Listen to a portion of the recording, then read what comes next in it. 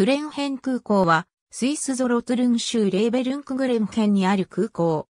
2014年時点で79,260回の発着回数があり、チューリッヒ空港、バーゼル空港、ジュネーブ空港に次ぐ4番目の規模となる大きさの地方空港となるが、利用客数では第7位である。訓練や遊覧飛行、ビジネス、スカイダイビング及びグライダーなど、主に自家用のゼネラルアビエーション目的で利用されており、発着回数の大半は飛行訓練によるもの。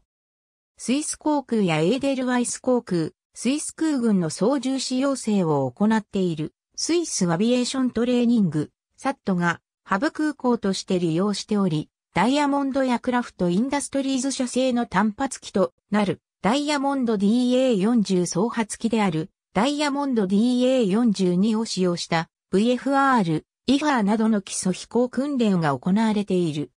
このほか、スイスの航空救助隊となるスイスエアイコールレスキューでもエアーバスヘリコプターズ H125 を使用したヘリコプターの飛行訓練が行われている。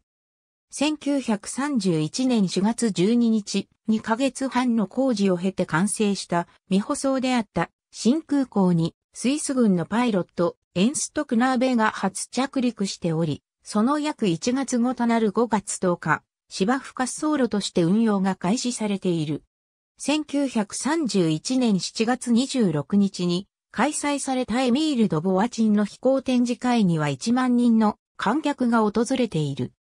第二次世界大戦中にはスイス軍の再訓練施設として使用されており、1970年3月の連邦議会上で滑走路を舗装するため助成金の支給が決議され、舗装路が完成した1970年12月4日に空港が再開されている。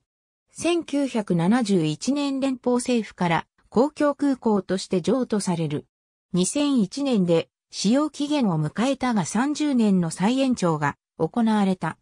スイス国内の航空交通管制を担当するスカイガイドによって空港管制業務が引き継がれており、引き継がれた国内14カ所のうちの一つとなる。ありがとうございます。